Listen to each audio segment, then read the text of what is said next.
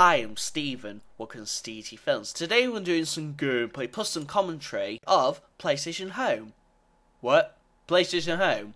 Why are you doing a video about PlayStation Home? Hasn't it already been out like in 2008? Yes, indeed, it has been out since 2008. But just today, they've recently released an update where basically has trophy support, where basically you can get some trophies for any trophy hunters out there. Now, I rarely go on my um, PS3 as much. Well, I usually go on my PS3 on some like, things, but some things like this I go on for. As soon as I loaded up PlayStation I got a trophy.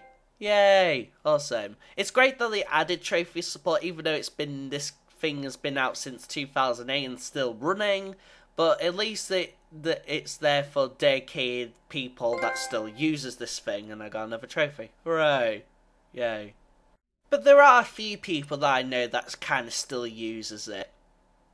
Well, I think they still use it. I don't know, but I remember they used to use it. So let's go into an apartment away from people, like I do in real life. Not really. I'm just not very good at socializing because I'm have not very good social skills. Anyways, let's delve into the trophies and see what trophies you get.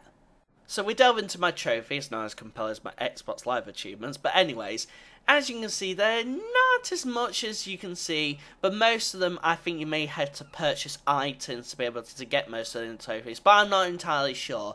But there are a few freebies on um, PlayStation Network, maybe to obtain the achievements, but I'm not entirely sure they count. So anyways, let's get our dance on and then get another trophy. Get a little dance on. Get a little dance on.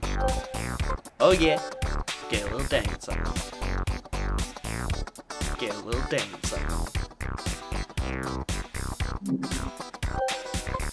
Get a little dance on.